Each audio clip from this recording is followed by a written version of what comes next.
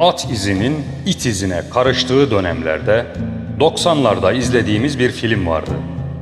Beyaz Toroslular. Kimileri sevdi, kimileri sevmedi. Kimisine göre hata, kimisine göre doğru. Analizciler analiz yaptı, yazarlar kitap yazdı. Herkes bir şey çıkardı, ekledi. Nemalananlar oldu, onlardan daha çok isim yapanlar oldu onların sayesinde. Camialara göre, yazarlara, gazetecilere göre söylemler de değişti.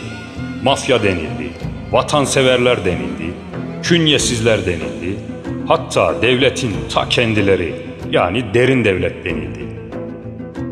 Devlet yaptırıyordu, görev veriyordu diyenlere devlet bu kadar aciz mi denildi.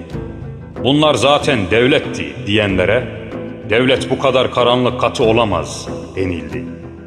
İsimleri gerçek miydi değil miydi? Öldü sandıklarımız sağ mı, sağ bildiklerimiz öldü mü orasını az insan bilir. Onlar da gerektiği kadarın bilir. Yüksek perdeden poz kestiler, attılar tuttular. Bir yakını devlete çalışan, az buçuk yalan yanlış bilgi edinen, gravatlı çakma istihbaratçılarla, yazarlarla, derin devletçilerle dolmuştu ortalık.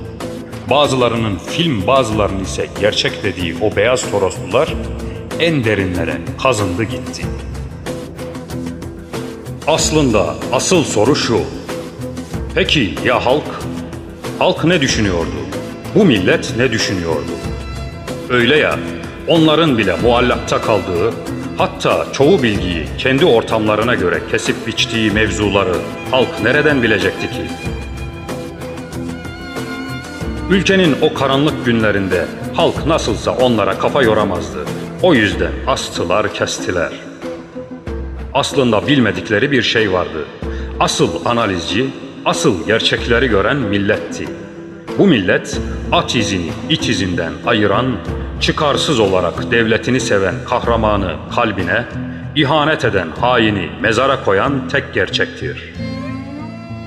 Bu millet iyi bilir ki asıl olan devlettir.''